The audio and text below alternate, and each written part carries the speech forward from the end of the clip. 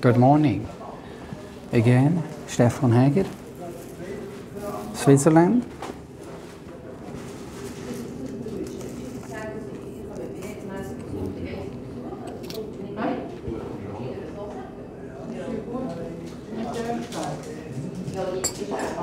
Reading to you from the second chapter of Mark, New International Reader's Version, where Jesus eats with tax collectors and sinners.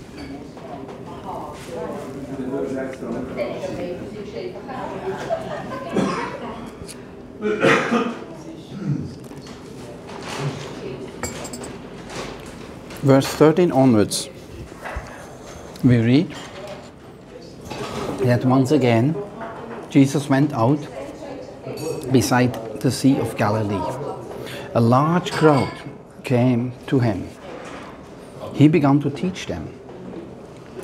As he walked along, he saw Levi, son of Alphaeus.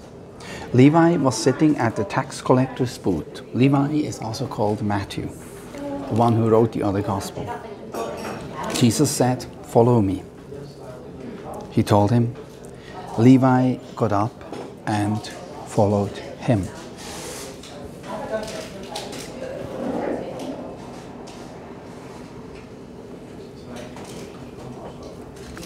Later, Jesus was having a dinner at Levi's house. Many tax collectors and sinners were eating with him and his disciples. They were part of the large crowd following Jesus. Are you a follower of Jesus, my dear friend on Facebook?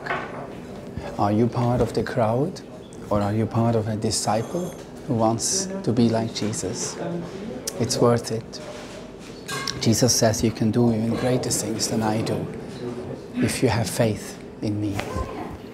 So, some teachers of the law who were Pharisees, they were there. Remember, the Pharisees were the ones opposing Jesus, they didn't like him. They saw Jesus eating with sinners and tax collectors. Tax collectors were working for the Romans, they were the very low caste, they were not righteous people, they were cheaters and thieves. But Jesus sat with them. So they asked his disciples, the Pharisees asked, Why does he eat with tax collectors and sinners? Jesus heard that. So he said to them, Those who are healthy don't need a doctor. Sick people do. I have not come to get those who think they are right with God to follow me. I have come to get sinners to follow me. Are you a righteous person or are you a sinner? Your heart tells you. Let's read on. John's disciples and the Pharisees were getting going without eating. Some people came to Jesus. They said to him, John's disciples are fasting. The disciples of the Pharisees are also fasting. Are you fasting in these days? Your disciples are not. Why aren't they fasting? was the question. Jesus answered, verse 19